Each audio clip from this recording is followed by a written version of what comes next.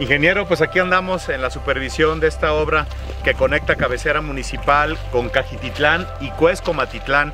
Esta obra que es prolongación Mariano Escobedo y que es el camino realmente antiguo a Cajititlán por donde circulaban en nuestros antepasados los habitantes de cabecera desde la época de los indígenas hasta Cajititlán, desde luego bordeando la laguna de Cajititlán.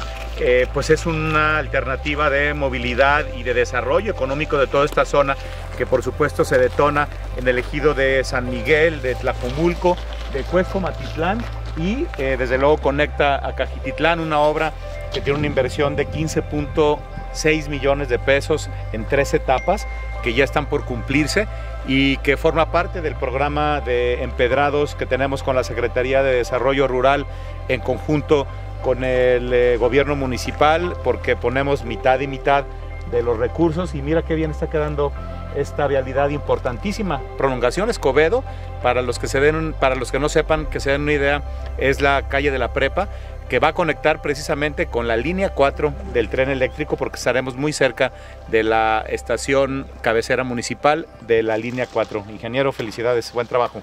Gracias. A darle.